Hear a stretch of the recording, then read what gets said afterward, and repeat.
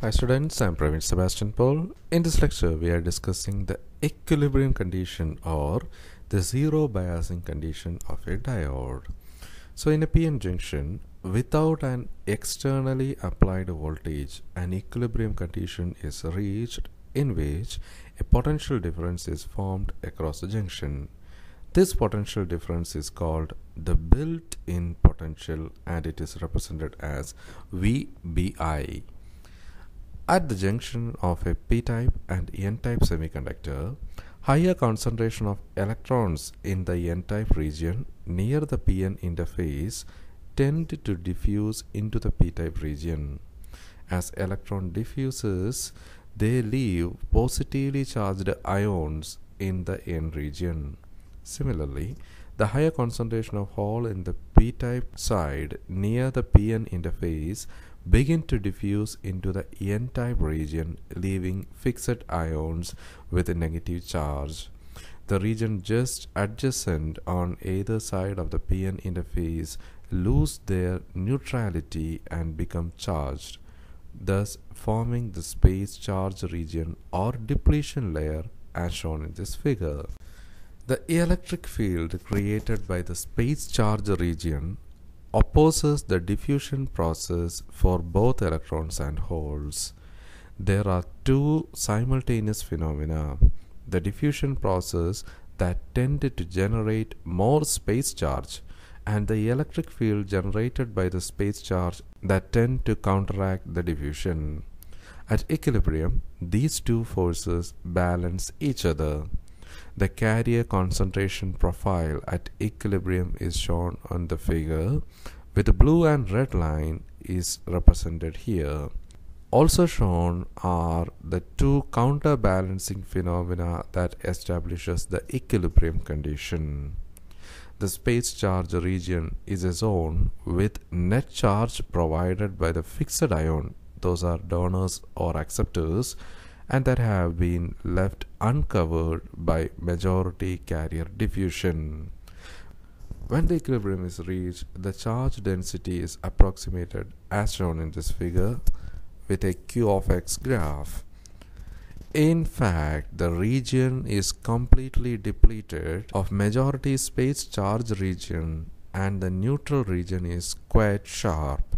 The space charge region has the same charge on both sides of the PN interface, thus it extends further into the less heavily doped side.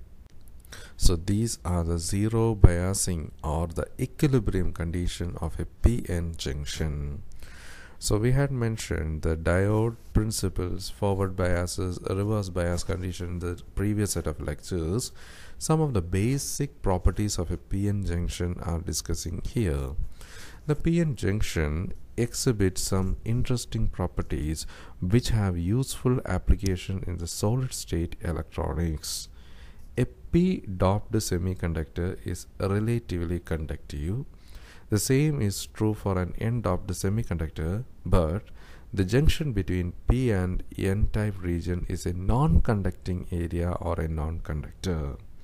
This non-conducting layer called the depletion layer occur because the electrically charged carriers that is electrons in the n-type and hole in the p-type silicon diffuses into the other type of the material and eliminate each other in a process called recombination. This diffusion of charge causes a built-in potential difference across the depletion region. By manipulating this non-conductive layer, the PN junctions are commonly used as diodes.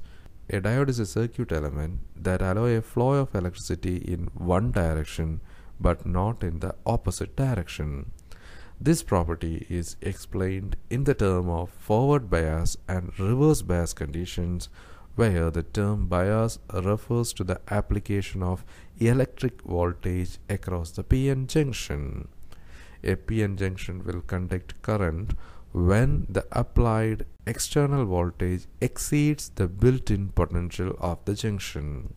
So as we mentioned earlier, the barrier potential or the potential of the junction for a silicon is 0.7 volt and for a germanium is 0.3 volt.